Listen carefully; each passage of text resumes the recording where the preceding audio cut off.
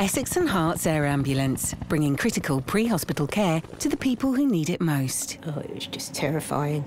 She was nine years old at the time. Fell 28 feet onto the left side of my head, fractured my left eye, got, gave myself brain damage. Pretty much got back the same little girl I had. I only have them to thank for that. We're a charity who rely on your support to remain operational.